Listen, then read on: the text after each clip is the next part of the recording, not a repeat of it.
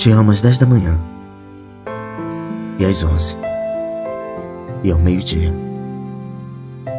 Te amo com toda a minha alma e com todo o meu corpo.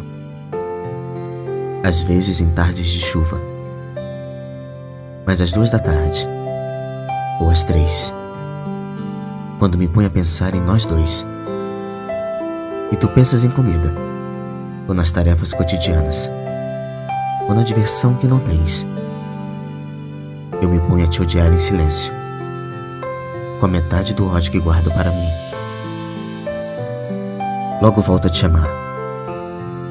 Quando nos deitamos, e sinto que tu foste feita para mim.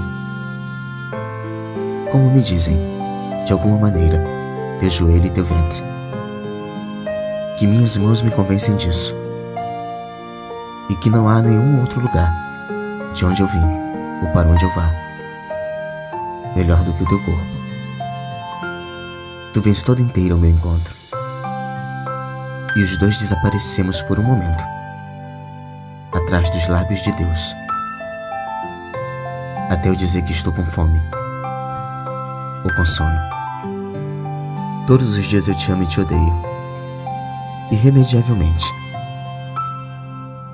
E há dias também Há horas em que eu não te conheço, em que és tão estranha para mim, como a esposa de outro. Preocupa-me os homens. Eu me preocupo. Minhas dores me distraem. É provável que eu não pense em ti durante muito tempo.